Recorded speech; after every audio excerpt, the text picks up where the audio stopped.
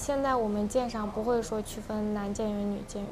首先，作为一名甲板面保障的舰员的话，要心思比较细一点，然后胆子大一点，动作要迅速果断。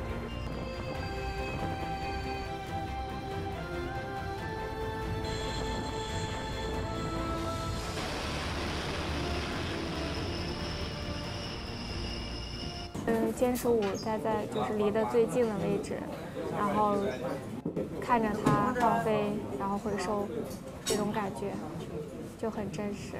当它放飞成功的时候，我就觉得很有成就感，很自豪，是我保障的坚守，它又成功起飞了，就有这种感觉。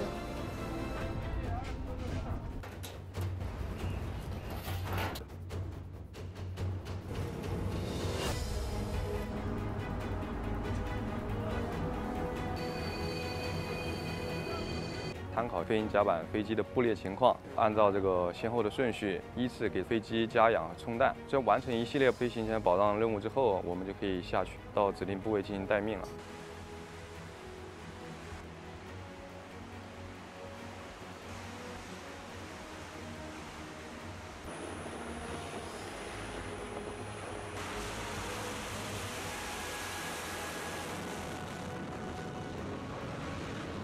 渤海海域离陆地比较近，那个地方鸟类活动比较频繁，平时可能鸟类可以达到上百只。